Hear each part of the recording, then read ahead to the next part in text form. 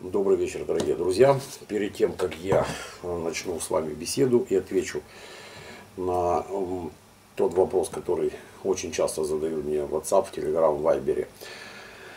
Люди, я хочу продемонстрировать один, э, как говорится, дать видео-ответ одному моему подписчику. Он спросил, какая твердость на стали Нетроп 77 от термички Дениса Фролова. Нетроп 77 в термичке Дениса Фролова имеет твердость 64 единицы.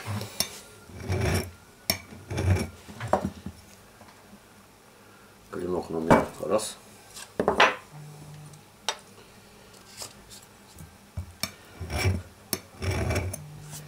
Клинок номер два.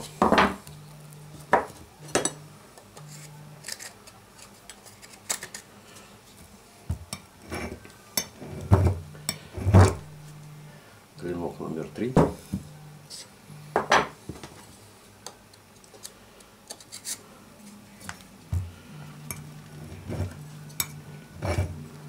Держать.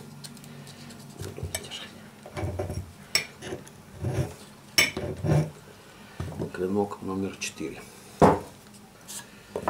Ну, а теперь поговорим о том вопросе, который часто мне задают в последнюю неделю.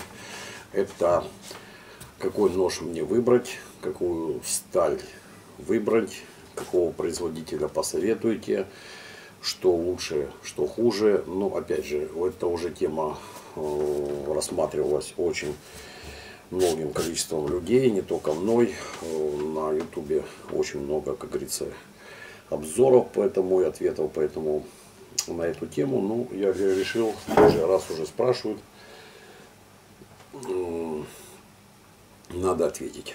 Итак, э, э, человек, который э, задает такой вопрос, должен четко понимать. То есть я делю градацию по такому принципу, что спрашивает человек, какую ну, нож выбрать.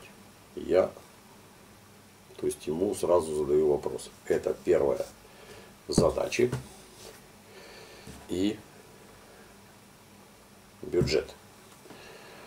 То есть, потому что сейчас в любом случае бюджет играет немаловажную роль э, в нашем обществе, потому что то, что было, как говорится, раньше и то, что есть сейчас, это две большие разницы, и поэтому нужно человек э, чтобы рекомендовать ему какую-то сталь, какой-то нож, нужно понимать, каким бюджетом человек располагает, сколько он может потратить средств на приобретение, на покупку ножа. И, следовательно, э, потратить средства на э, заточку, там заточное приспособление, камни еще, еще что-нибудь, чтобы поддерживать нож в нормальном состоянии. То есть вот эти два критерия, ну основной критерий это естественно задачи.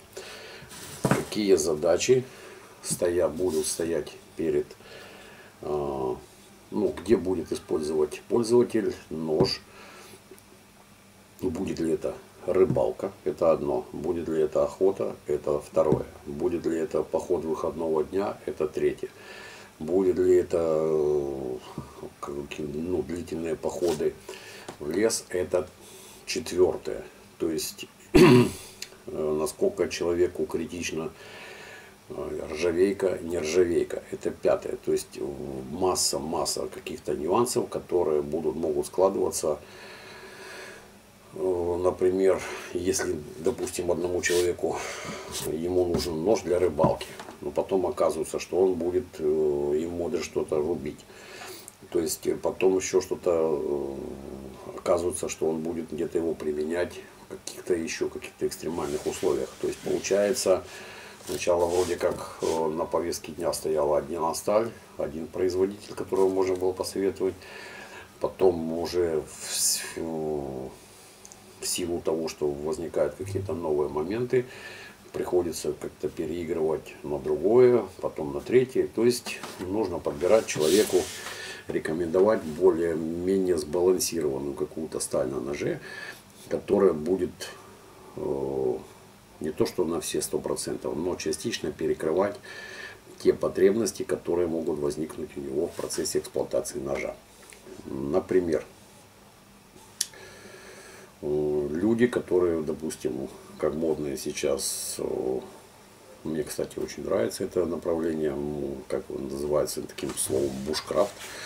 То есть это там выживание. Я иногда смотрю вот эти ролики, как они там шалаши строят, какие-то там землянки, еще, но все-таки интересно, смотрят люди увлеченные, все понятно и хорошо. То есть, если человек, который э, очень ну, увлечен именно в таким, как говорится, у него будет использование ножа именно в таких примерно условиях, то естественно, что можно, конечно, рекомендовать по дереву. Это вот тип Хелли Викинг ну, викинг это только клинок, рукоять сделали мне отдельно. Вот, то есть здесь углеродка, ламинат, углеродистый их. Вот, очень мощный клин сам по себе. Им можно резать скальди спуски. То есть человеку, который, допустим, использует, э, будет его использовать именно в лагере, бушкрафт и еще что-нибудь, нужен нож, который, который э, понятен и прост, как в, ну, в своей, как говорится, геометрии и обслуживании. То есть это сканди спуски, положили всем спуском на режущую на абразивный камушек, наточили, восстановили ярка, на коже прошли, на этом дело закончилось. Нож снова в работе и можно выполнять разнообразную работу.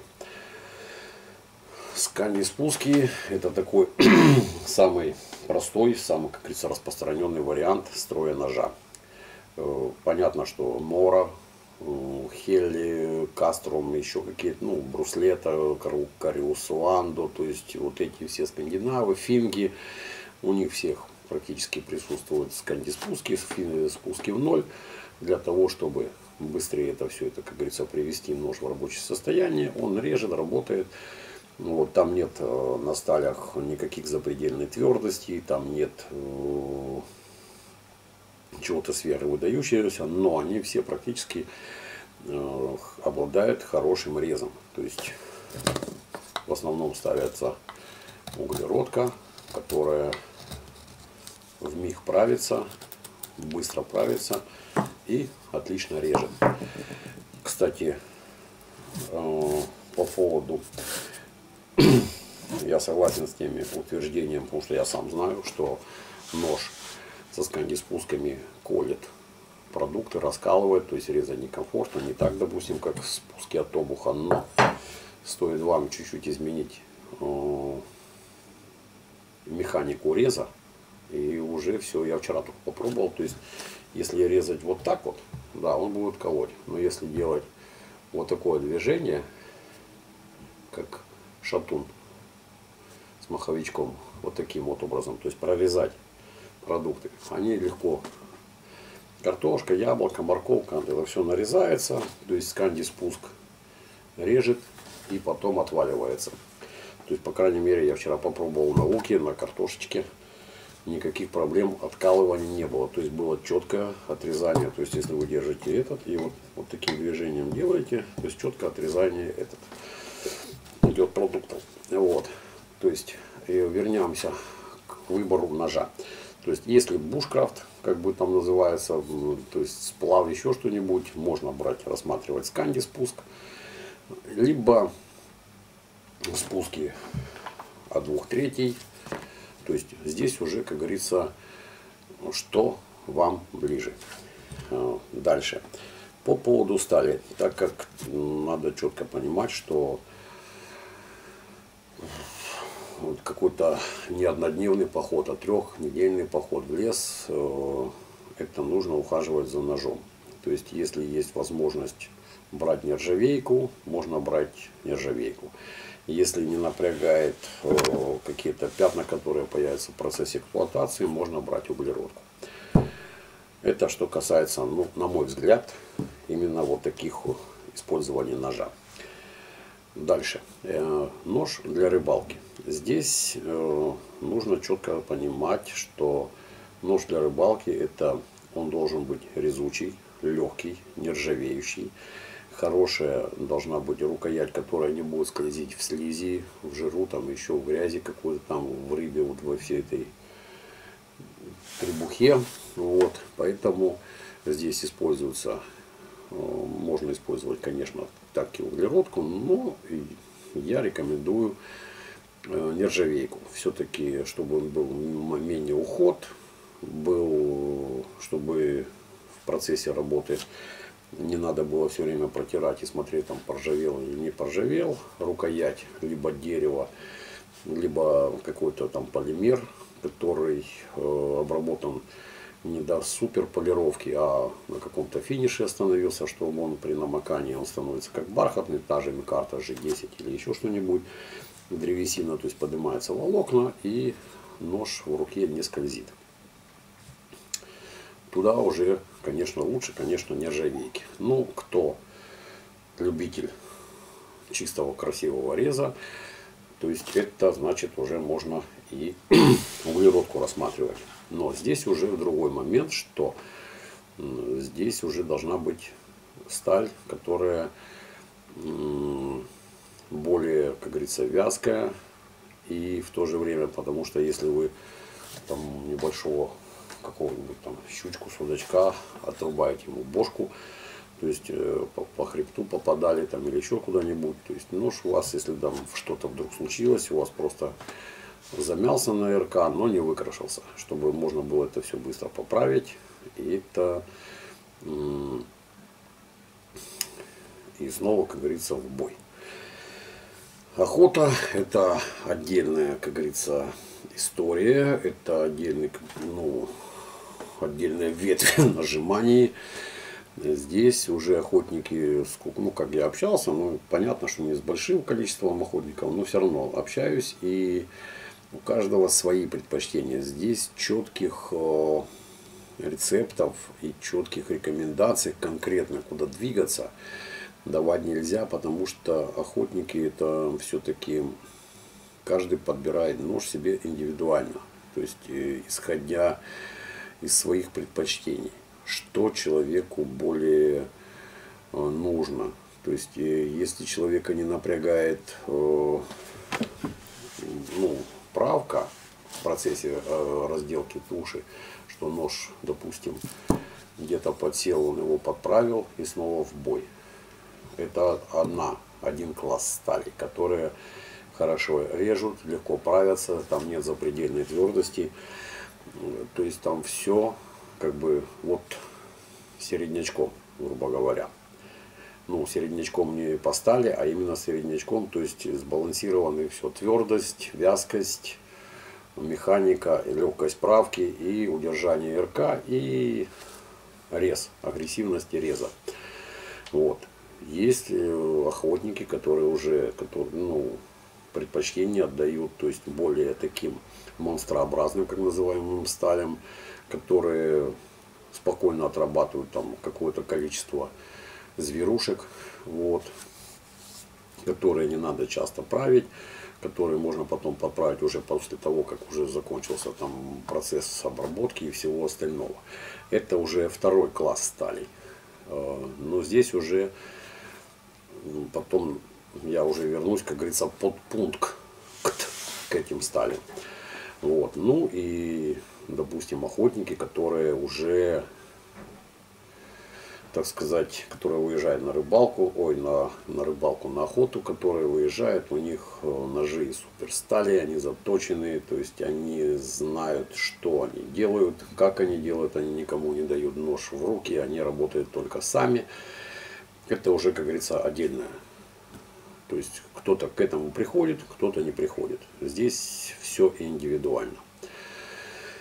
Э, что касается третьей, допустим, категории, это четвертой, вернее, уже.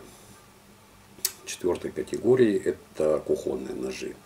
Кухонный нож на самом деле это кажется, что он простая как бы форма шеф, рукоять и все. Но на самом деле э, здесь не все так просто. Чтобы нож был э, удобен в руке и комфортно им было работать, здесь нужно соблюсти очень много параметров.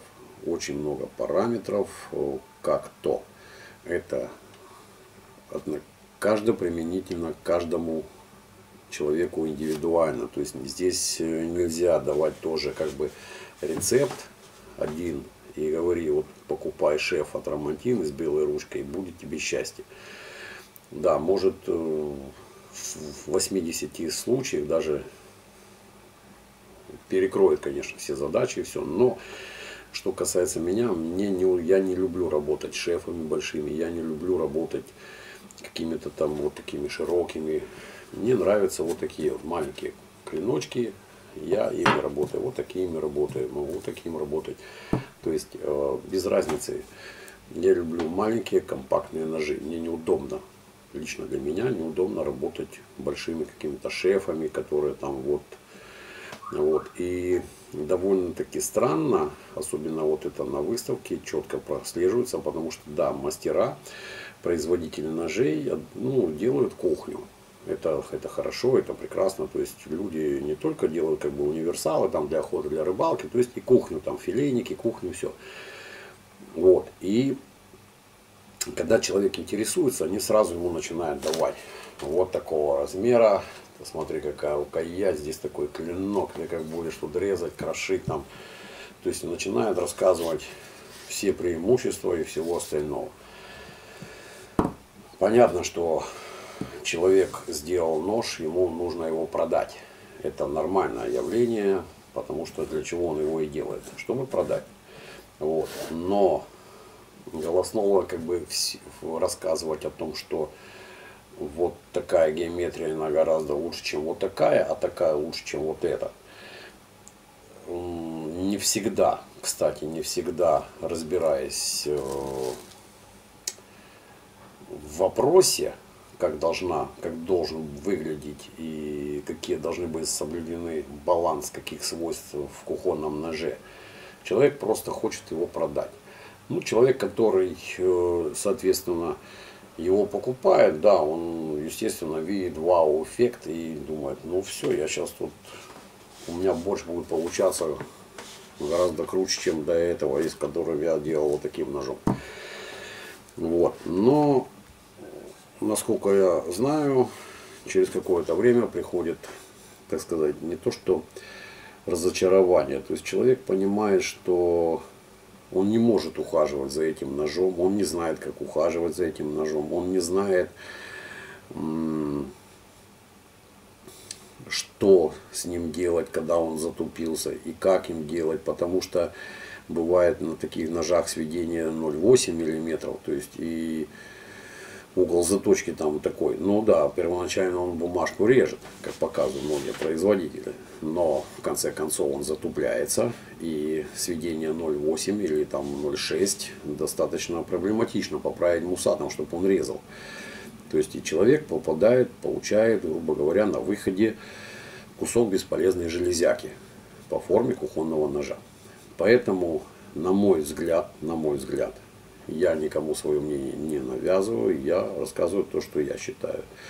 Я рекомендую, не советую, рекомендую. То есть, если человек хочет себе, которому нравится готовить, то есть, который часто использует нож именно для готовки, то есть для нарезки, там еще там дома, на даче, неважно где, то и человеку действительно он понимает, что он хочет обладать ножом, который его будет устраивать, с хорошей сталью, с хорошей геометрией, который будет правиться в два движения там, или в три, который не нужно будет долго точить. То есть все, все, все будет удобно, и не будет натирать вот это место, не будет на, на палец попадать на пяточку и резать.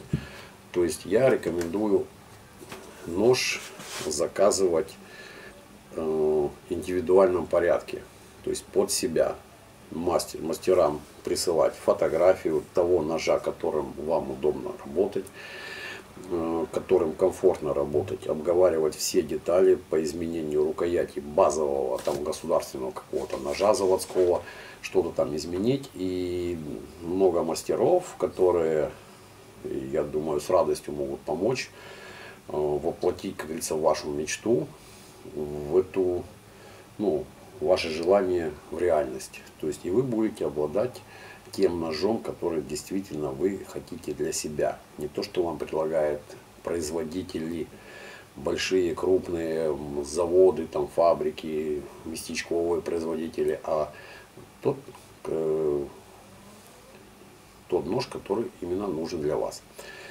Почему? Потому что я уже, как говорится, объяснил. Вторая. Дальше идем. Это о целях, как говорится, и задачах для ножа. Второе. Это сейчас немаловажный аспект всего, как говорится, вокруг чего сейчас крутится все, как говорится, ножевое сообщество.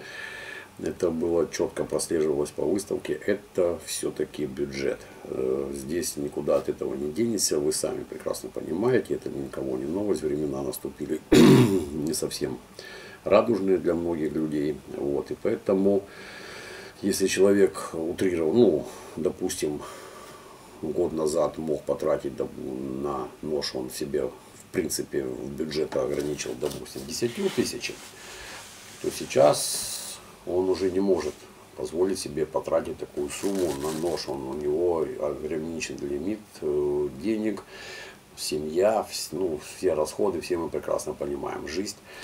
Вот, то есть есть, допустим, лимит 5000. Вот что можно э, в 5000?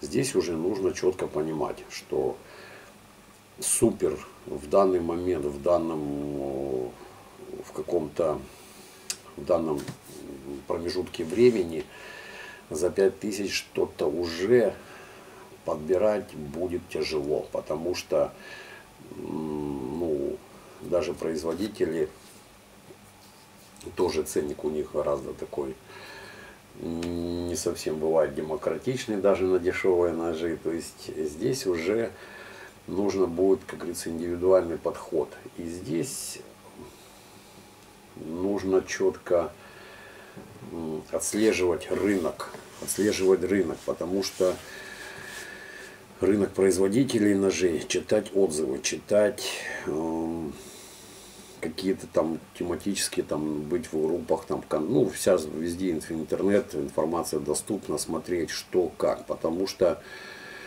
э, очень много как бы производителей, да, продают ножей большое количество там и дешевых, и дорогих, и дешевых, но они не на слуху, про них информацию какую-то ну, найти очень тяжело. И когда когда начинаешь спрашивать у людей, э,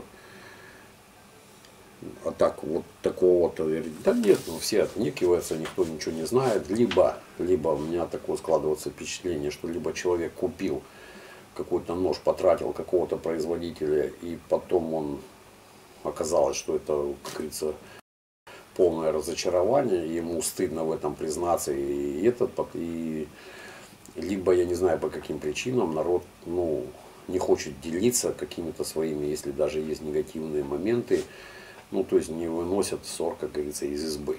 Ну, это личное право каждого, здесь ничего нельзя. И в таких моментах надо уже, если у вас есть ограниченный бюджет, надо все-таки идти э, в те мастерские, к тем производителям, которые не ставят, не продают, не устраивают массовую распродажу по 1500 рублей за готовый нож.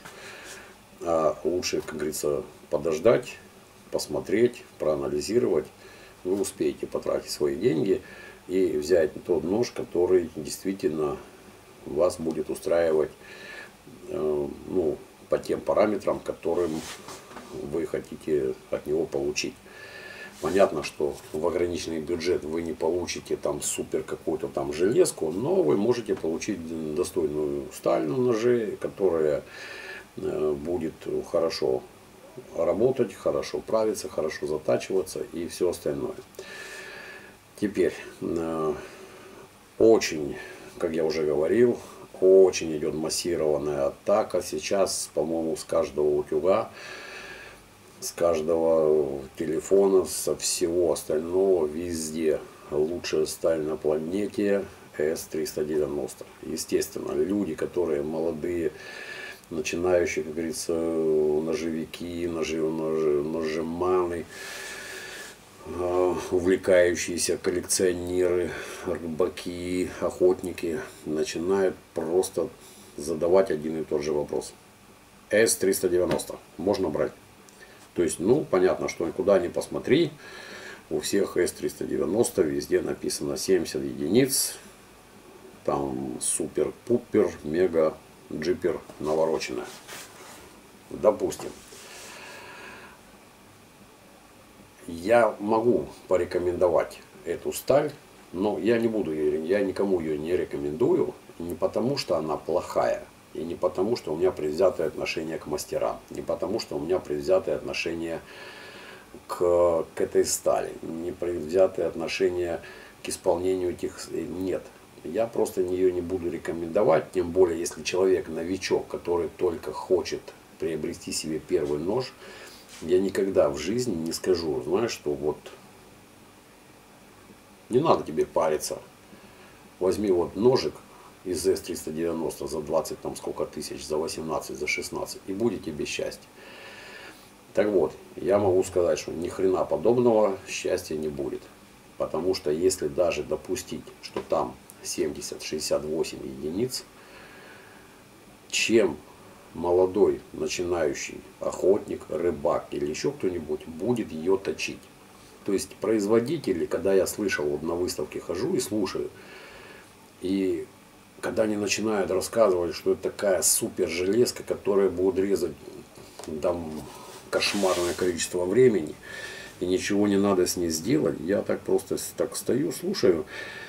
И, и вы знаете, да, они, ну как, понятно, что играет роль маркетинг, и продавцы продают эти ножи, свои изделия, люди покупают, и они верят в это чудо, верят в свое счастье, которое свалилось им на голову, что я вот все-таки купил вундервафлю, теперь я весь мир, как говорится, у моих ног. То есть у меня будут теперь рыба сама будет чиститься, разлетаться на куски. Лось пока будет бежать по лесу, даже еще не раненый, себя будет скидывать уже шкуру и все остальное, разбираться на части. Я никогда не, никого, ни одному человеку, тем более молодому, начинающему человеку, не посоветую ножи из монстра сталей. По одной причине. Потому что его нужно точить. А если человек даже не освоил, у него даже нет точилки, ну пускай у него есть даже китайский клон, Apex там или еще что-нибудь, бог с ним, там Ruixin Pro или еще что-нибудь. Да, на нем можно заточить, но если человек никогда не точил эти стали, у него нет абразивов, которые могут Э, сработать по этой стали, я никогда не буду предлагать, потому что я сразу задаю вопрос, если меня спрашивают, а С-390 вот там вот такого-то производителя, ну там 68 единиц, он будет как хорошо резать. Да, он будет хорошо резать, если его хорошо наточить, но когда он затупится, вы не сможете его наточить, потому что у вас нет абразивов. Можно точить китайскими камнями, можно купить гриндерман, можно купить еще что-нибудь, но если вы не будете понимать физику процесса заточки твердых сталей, как они вообще точатся, какие должны быть камни, как это все будет происходить и сколько это может занять времени. То есть э, вы можете просто нож затупить и потом уже только нужно уже будет либо перетачивать полностью, но уже отдавать людям, которые будут это все, как говорится, делать у себя там в городе, искать, либо еще куда-нибудь, либо еще где-нибудь. Поэтому я, как говорится, как была бесценная, конечно, фраза. Тренируйтесь сначала на кошках. То есть возьмите сначала бюджетный вариант, если вы хотите порошковую, хорошо режущую сталь, которая будет э, хорошо вменяемо точиться. Точится не столь, ну, не столь капризно к абразивам, которые набирают остроту, которую можно легко, ну, достаточно легко заточить, возьмите бюджетный, нормальный Elmax. Порошковая сталь, не ржавеет. Режет просто класс. Никаких проблем с ней нет. И вы когда будете им резать, вы будете, если вы до этого никогда не резали, и, конечно, у вас сразу будет вау-эффект, потому что хорошо заточенный, выточенный Элмакс режет очень зверски. При том, что э, хорошо затермиченный Элмакс, ну сейчас Элмакс, по-моему, уже научились все готовить, он легко правится, он держит малые углы, у него достаточно хорошая механика, бюджетный вариант. Что еще нужно, когда вы уже начинаете, проходите этап Элмакса, тогда уже можно рассматривать М300, М390, М398, С90 и уже пошли, как говорится, по восходящей аж до самого Рекса, там Максомета и все остальное. Вот. И уже к этому вы придете, сталь никуда от вас не денется, но вы уже будете, как говорится, подго... к, к этому ножу, к этой стали, к этому обслуживанию этих ножей из этих сталей вы уже подойдете, как говорится, с багажом знаний, которые вы спокойно посмотрели, вы знаете, что с ним делать, какой использовать абразив, как сделать, какой угол. Э, если вы взяли, допустим, из 110 вы попробовали, он у вас не режет, то есть вы либо на рыбалке, либо на охоте, вы прекрасно понимаете, да, что-то у меня здесь не режет, сейчас я поиграюсь там либо с финишем, если там опять же, что у вас что-то вас не устраивает, вы быстренько его переточили, но вы знаете, как это делать. То есть вы не запорите нож, и у вас он будет работать долго и нудно. Вот. А не так, что взяли вы с нахрапом, купили 125-ку, купили Рекс и начинаете его на 70, на 68 единиц Рекс, начинаете камнями с Китая, либо камнями Гриндерман. Это хорошо, что у вас есть алмазы, там, если есть гальванические. Но опять же, надо четко понимать, что вы делаете, как вы точите. Потому что это не тот класс стали, который можно взять, просто взять и сразу точить. Ну, это я так думаю. Вот, тем более, что для этих железа нужен э, свой подход, свой финиш от задач, свои углы. То есть вы должны понимать, что если вы на Элмаксе, грубо говоря, можете сделать для кухонного ножа угол 30 градусов, и он у вас будет хорошо работать на кухне, там морковку резать, лучок и все остальное, то из 390 на 30 может посыпаться. Потому что у Элмакса ТВР 62, 63, там 64 единицы, здесь 68 и 70, как написано на клинке. Это, как говорит, две в Одессе, две большие разницы. Вот. Поэтому Э, мой, как говорится, не то, что не совет, а рекомендация. Начинайте, как говорится, с первых шагов. Берите сталь не э, среднего ценового бюджета. Не надо гнаться за какими-то там супер-мега порошками. Они никуда не денутся. Начните с обычных, если вы хотите с обычных сталей. Возьмите, начинайте с инструменталки если уже бюджет ограниченный, если уже бюджет позволяет более э, высокого класса стали взять, тогда уже можно рассматривать, э, рассматривать Elmax, M390, N690, то есть вот в этом диапазоне там не алоксы, это, ну то есть именно средний ценовой бюджет.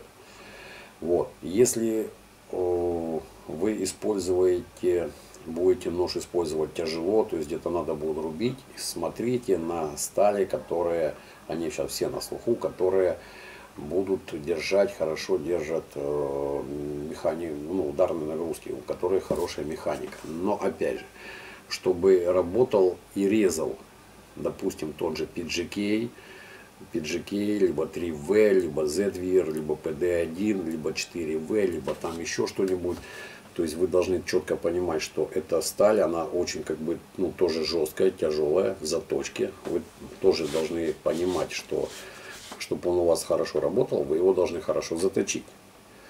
Здесь, как говорится, одно тянет другое. Здесь не бывает такого, что вот купил и все, я режу и направо и налево. Нет, в конечном итоге когда-то все.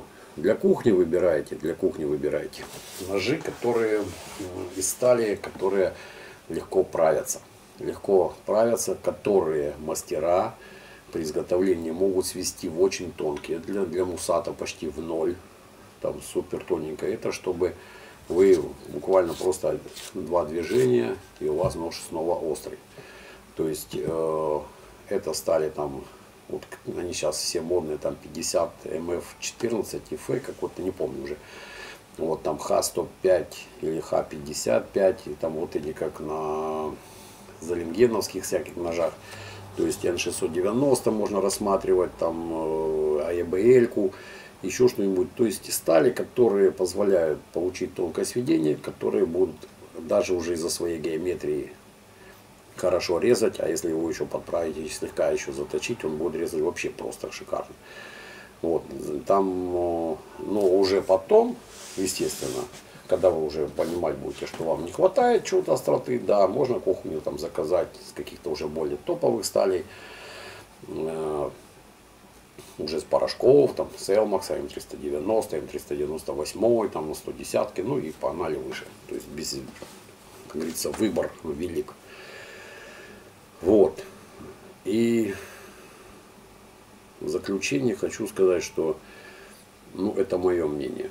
Естественно, каждый будет принимать решение сам, что если вы начинаете только, как говорится, стали на путь вот увлечения ножами, поэтому начинайте с простого.